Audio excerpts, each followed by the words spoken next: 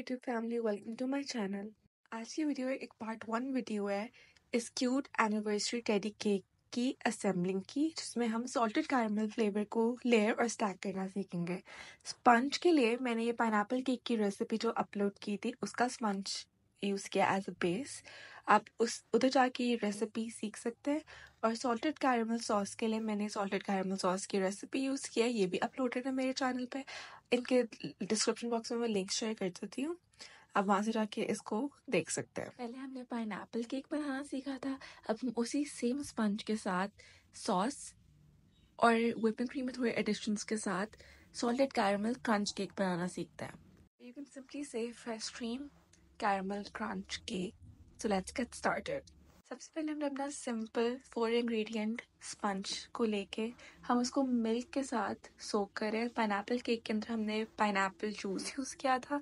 Salted caramel crunch cake में हम simply milk के साथ सोक करें इस स्पंज की रेसिपी बहुत ही इजी थी। वो अपलोडेड है। आप उस वीडियो में जाके देखें। वो सिर्फ़ फोर इंग्रेडिएंट रेसिपी और इंतहाई आसान स्पंज की रेसिपी है।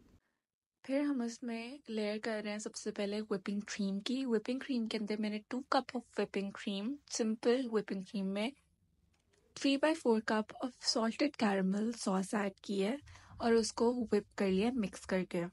इसको हम लेयर करें केक के ऊपर। मैं पाइपिंग बैग से इसलिए लेयर करी क्योंकि उससे बहुत ही बैलेंस्ड लेयर आ जाती है। फिर उसको मैं टॉप कर रही हूँ कैरमल सॉस के साथ।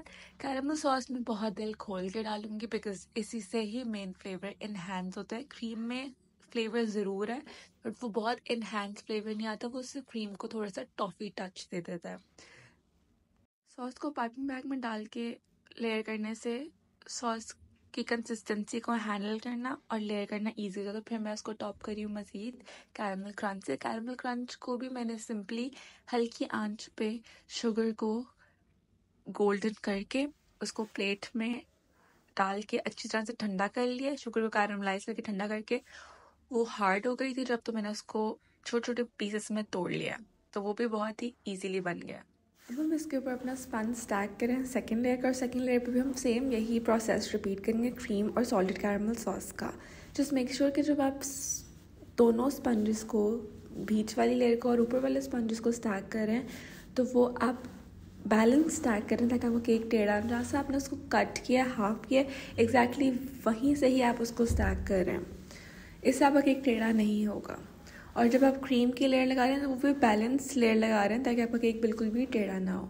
लास्टली हम इसको पहले क्रम कोट करेंगे और फिर हम फाइनल लेयर विपिंग क्रीम की दे के उसको पैलेट नाइफ के साथ नीट करके रख देंगे। So this is how you layer and prepare your fresh cream caramel crunch cake this how I did for this cute anniversary teddy cake तो इस वीडियो में हमने सीखा कि हमने कैसे जो पाइन केक स्पंज बनाया था, उसको हमने कैरमल फ्लेवर दिया सिंपल वनीला स्पंज को, और कैसे मैंने टेडी केक के लिए इसको फ्रेश क्रीम केक को प्रिपेयर किया। तो अभी नेक्स्ट वीडियो में which is a part two उसमें हम सीखेंगे कि हम फॉन्डन को कलर कैसे करते हैं, हम फॉन्डन के टेडी और हार्ट्स कैसे बनाएँगे, और हम उसको कितनी देर पहले और कैसे केक पे स्टैक करेंगे।